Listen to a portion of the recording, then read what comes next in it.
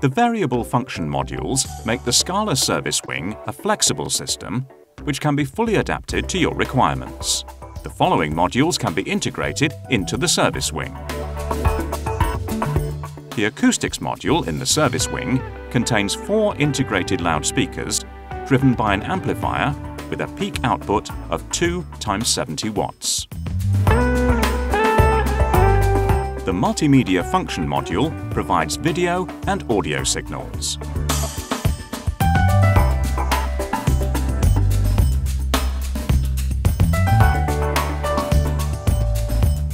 The PC module is a fully network-capable PC with motherboard, RAM, hard disk, graphics card, as well as USB 2 monitor and audio connections.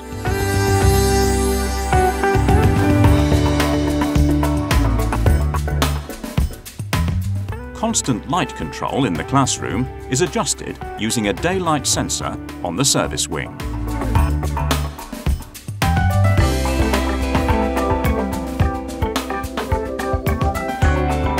As a standard, the service wing is equipped with four 230 volt sockets, variable voltage sockets for low voltage, and an RJ45 data socket with two connection ports for Cat6a or Cat7 Plus data networks, allowing four schoolchildren to use each working area.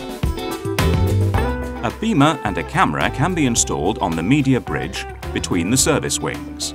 Supply cables such as video, audio and electrical power are routed through the media bridge. The supply points for fuel gas with quick release coupling can be used both on a centralized basis with natural gas and on a decentralized basis with propane gas.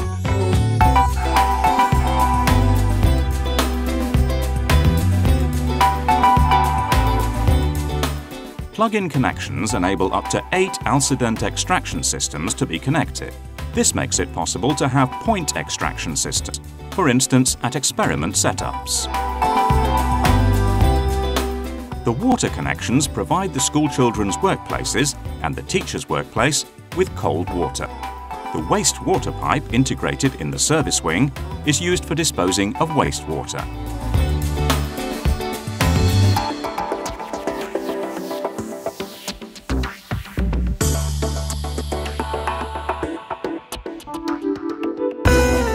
Two exhaust air lines with bayonet connectors link the Mobile Aero EM fume cupboard to the service wing.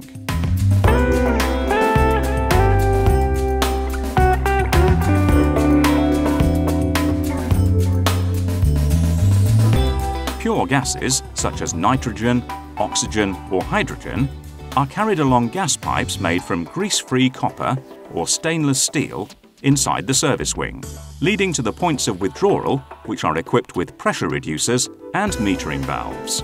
The schoolchildren's workplaces and the teacher's workplace are supplied with a constant vacuum by means of a central vacuum pump. A centrally housed compressed air system supplies all the points of withdrawal with compressed air.